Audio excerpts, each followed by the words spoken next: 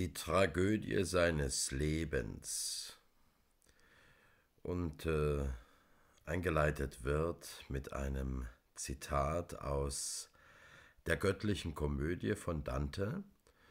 Non visi pensa quanto sangue costa, was vielleicht so viel wie nicht bedenkt man, wie viel Blut es kostet, gut übertragen sein kann. Immer ist bei Dostojewski Grauen der erste Eindruck und der zweite erst Größe. Auch sein Schicksal scheint anfangs dem flüchtigen Blick so grausam und gemein, wie sein Antlitz bäuerisch und gewöhnlich. Zuerst empfindet man es nur als eine sinnlose Marter, denn mit allen Instrumenten der Qual foltern diese 60 Jahre den hinfälligen Körper. Die Pfeile der Not reibt seiner Jugend und seinem Alter die Süße weg, die Säge des körperlichen Schmerzes knirscht in sein Gebein, die Schraube der Entbehrung wühlt ihm hart bis an den letzten Lebensnerv, die brennenden Drähte, der Nerven zucken und zerren unaufhörlich durch seine Glieder, der feine Stachel der Wollust reizt unersättlich seine Leidenschaft. Keine Qual ist gespart, keine Marter vergessen. Eine sinnlose Grausamkeit, eine blindwütige Feindseligkeit scheint dies Schicksal vorerst. Rückschauend nur begreift man, dass es sich so hart zum Hammer geschmiedet, weil es Ewiges aus ihm meißeln wollte, dass es gewaltig war, um einen Gewaltigen gemäß zu sein. Denn nichts misst es dem Maßlosen gemächlich zu, nirgends ähnelt sein Lebensgang dem gut gepflasterten breiten Bürgersteig aller anderen Dichter des neunzehnten Jahrhunderts, Immer fühlt man hier eines finsteren Schicksals Gottes Lust, sich stark an dem Stärksten zu versuchen. Alttestamentarisch, heroisch und in nichts neuzeitlich und bürgerlich ist Dostojewskis Schicksal. Ewig muss er mit dem Engel ringen wie Jakob, ewig sich gegen Gott empören und ewig sich beugen wie Hiob. Nie lässt es ihn sicher werden, nie träge. Immer muss er den Gott spüren, der ihn straft, weil er ihn liebt. Nicht eine Minute darf er rasten im Glück, damit sein Weg bis ins Unendliche gehe.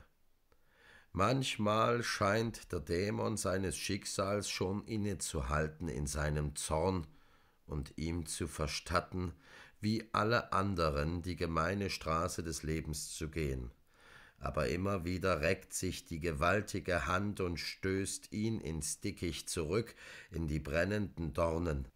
Schleudert es ihn hoch, so ist's nur, um ihn in tiefere Abgründe hinabzustürzen, ihn die ganze Weite der Ekstase und Verzweiflung zu lehren.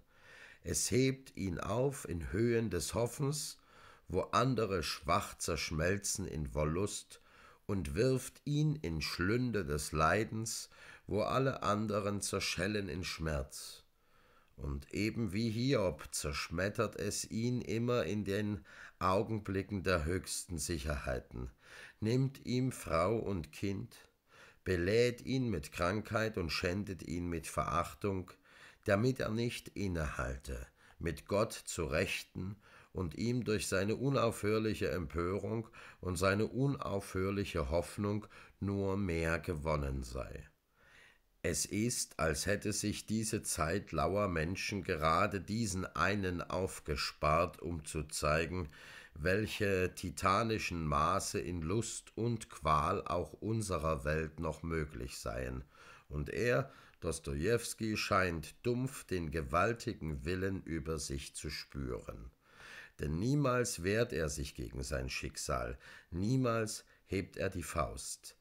Der Körper der Wunde bäumt sich konvulsivisch in Zuckungen empor, aus seinen Briefen bricht manchmal wie Blutsturz ein heißer Schrei, aber der Geist, der Glaube zwingt die Revolte nieder, Der mystisch Wissende in Dostojewski spürt das Heilige dieser Hand, den tragisch fruchtbaren Sinn seines Schicksals. Aus seinem Leid wird Liebe zum Leiden, und mit der wissenden Glut seiner Qual umflammt er seine Zeit, seine Welt. Dreimal schwingt ihn das Leben empor, dreimal reißt es ihn nieder. Früh schon atzt es ihn mit der süßen Speise des Ruhms, sein erstes Buch schenkt ihm einen Namen, aber rasch fasst ihn die harte Kralle und schleudert ihn wieder zurück ins Namenlose, ins Zuchthaus, in die Katorga nach Sibirien. Wieder taucht er, nur noch stärker und mutiger empor, seine Memoiren aus dem Totenhause reißen Russland in einen Taumel. Der Zar selbst netzt das Buch mit seinen Tränen, die russische Jugend steht in Flammen für ihn. Er gründet eine Zeitschrift, seine Stimme tönt zum ganzen Volke. Die ersten Romane entstehen. Da bricht dem Wettersturz seine materielle Existenz zusammen, Schulden und Sorgen peitschen ihn aus dem Land, Krankheit beißt sich in sein Fleisch, ein Nomade, irrt er durch ganz Europa, vergessen von seiner Nation. Aber zum dritten Mal, nach Jahren der Arbeit und Entbehrung, taucht er aus den grauen Gewässern namenloser Not. Die Rede zu Puschkins Gedächtnis bezeugt ihn als den ersten Dichter, den Propheten seines Landes. Unauslöschlich ist nun sein Ruhm. Aber gerade jetzt schlägt ihn die eiserne Hand nieder und die verzückte Begeisterung seines ganzen Volkes schäumt ohnmächtig gegen seinen Sarg. Das Schicksal bedarf seiner nicht mehr. Der grausam weise Wille hat alles erreicht, aus seiner Existenz das Höchste gewonnen an geistiger Frucht. Achtlos wirft es nun die leere Hülse des Körpers hin. Durch diese sinnvolle Grausamkeit wird Dostojewskis Leben zum Kunstwerk, seine Biografie zur Tragödie. Und in wundervoller Symbolik nimmt sein künstlerisches Werk die typische Form des eigenen Schicksals an. Schon der Anbeginn seines Lebens ist Symbol. Fedor Michailowitsch Dostojewski wird im Armenhaus geboren. Mit der ersten Stunde ist ihm so schon die Stelle seiner Existenz angewiesen, irgendwo im Abseits, im Verachten, nahe dem Bodensatz des Lebens und doch mitten im menschlichen Schicksal, nachbarlich von Leiden, Schmerz und Tod. Niemals bis zum letzten Tage, er starb in einem Arbeiterviertel in einer Winkelwohnung des vierten Stocks, ist er dieser Umgürtung entronnen, alle die 56 schweren Jahre seines Lebens bleibt er mit Elend, Armut, Krankheit und Entbehrung im Armenhaus des Lebens. Sein Vater, Militärarzt wie der Schillers, ist adliger Abstammung, seine Mutter aus Bauernblut. Beide Quellen des russischen Volkstums strömen so befruchtend in seine Existenz zusammen. Strenggläubige Erziehung wendet schon früh seine Sinnlichkeit zur Ekstase. Dort im Moskauer Armenhaus, in einem engen Verschlag, den er mit seinem Bruder teilt, hat er die ersten Jahre seines Lebens verbracht. Die ersten Jahre, man wagt nicht zu sagen, seine Kindheit, denn dieser Begriff ist irgendwo aus seinem Leben verschollen. Niemals hat er von ihr gesprochen, und Dostojewskis Schweigen war immer Scham oder stolze Angst vor fremdem Mitleid. Ein grauer, leerer Fleck ist dort in seiner Biografie, wo sonst bei Dichtern bunte Bilder lächelnd aufsteigen, zärtliche Erinnerung und ein süßes Bedauern. Und doch meint man ihn zu kennen, blickt man tiefer in die brennenden Augen der Kindergestalten, die er schuf. Wie Kolja muss er gewesen sein, frühreif, fantasievoll bis zur Halluzination, voll jener flackernden, unsicheren Glut, etwas Großes zu werden, voll jenes gewaltsamen und knabenhaften Fanatismus, über sich selbst hinauszuwachsen und für die ganze Menschheit zu leiden.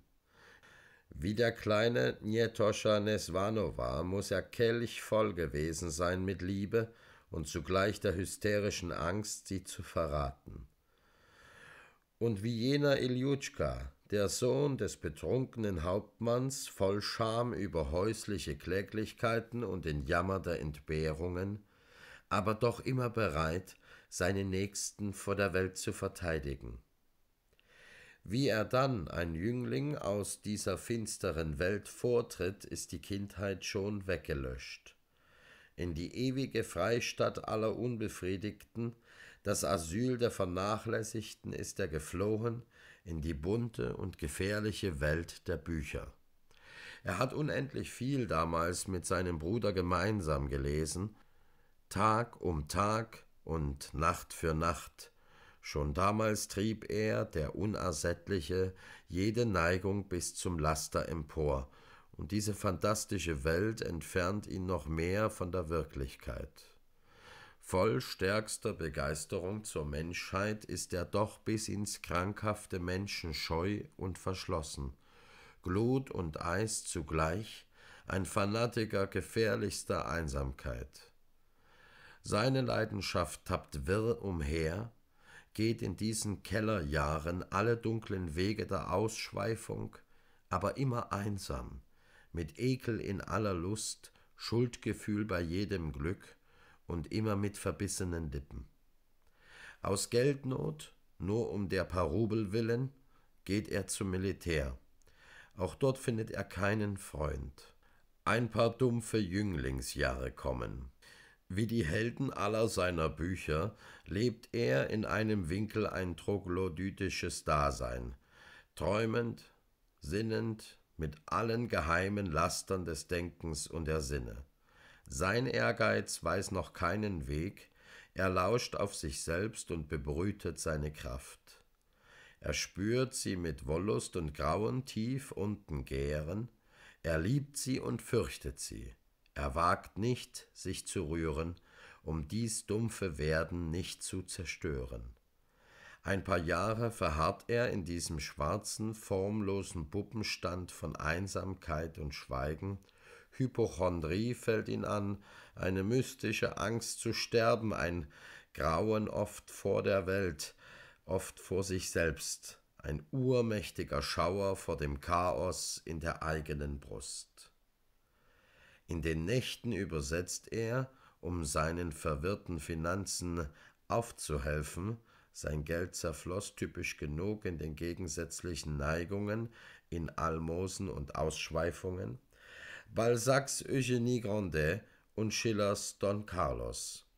Aus dem trüben Dunst dieser Tage ballen sich langsam eigene Formen, und endlich reift aus diesem vernebelten, traumhaften Zustand von Angst und Ekstase sein erstes dichterisches Werk, der kleine Roman Arme Leute.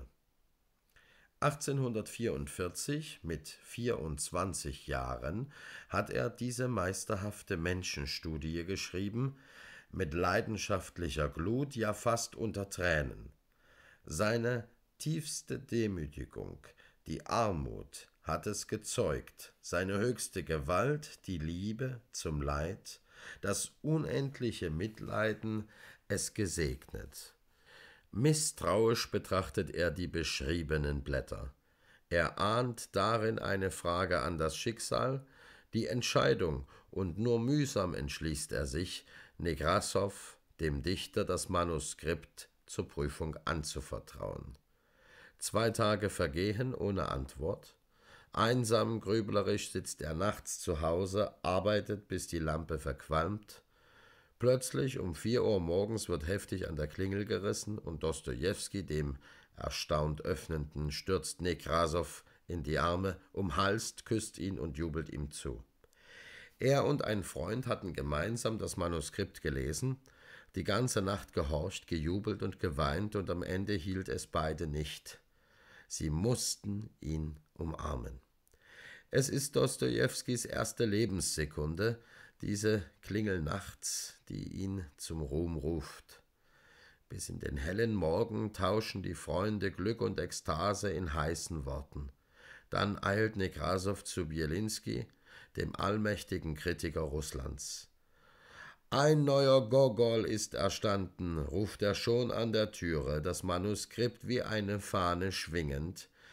Bei euch wachsen die Gogols wie die Pilze, brummt der Misstrauische, durch so viel Begeisterung verärgert.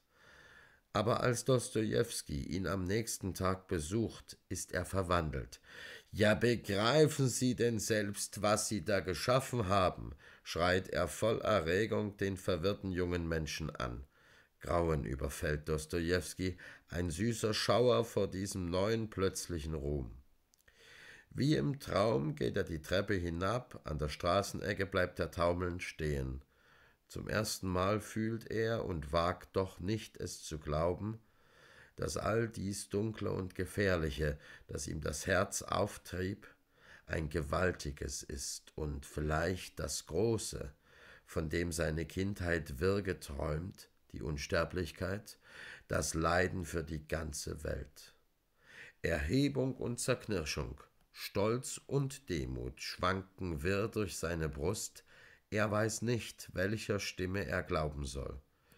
Trunken taumelt er über die Straße, und in seinen Tränen mischen sich Glück und Schmerz.